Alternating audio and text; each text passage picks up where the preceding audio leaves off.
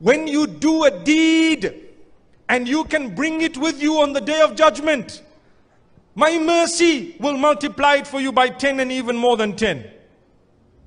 من جاء بالحسنة فله عشر أمثالها Whoever comes on the day of judgment, notice the word ja'a. Ja'a is a very, very important word. For me, it is the most important word in that verse is ja'a. Why ja'a? Because Allah didn't say whoever does the deed. Allah didn't say uh, man amila. But He said whoever comes with a deed. It means they did it and they protected it. Those are the two things I'm talking about when you want to earn the mercy of Allah. You don't just do the tawbah, you do the deeds after the tawbah, your life changed. Allah says, in that case, bonus for you. MashaAllah, you have a lot.